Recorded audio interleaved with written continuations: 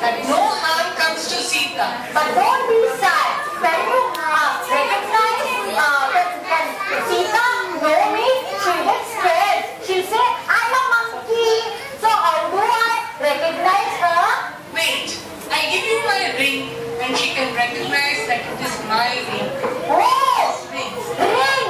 Rama, I'll definitely keep it carefully. I take this ring and I give it to Sita.